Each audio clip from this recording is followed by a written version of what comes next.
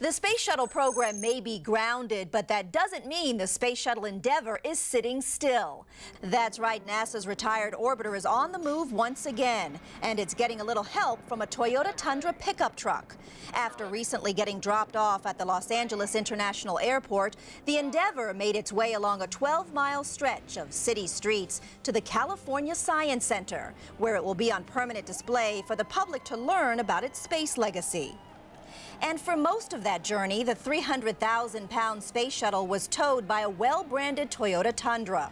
No modifications were made to boost the pickup truck's factory 10,000 pound towing capacity, but extensive testing was done beforehand.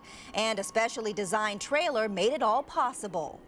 If you have plans for a year-end road trip, it probably won't include towing space equipment, but it will most certainly involve a trip to the gas station. And thanks to the government's fuel economy website, motorists can get a better idea of how much gas they'll use and what it will cost when planning their trip. A new trip calculator takes all the guesswork out of your journey with its easy-to-use format for fuel economy information. Just enter your destination and what type of car you'll be driving. From there, you can type in a fuel price of your own or stick with the national average. And the trip calculator will tell you exactly how many gallons you'll use and what the fuel cost will be. If you have more than one vehicle to choose from, you can compare them to see which one will be the best choice. And it'll even provide you with directions on how to get there.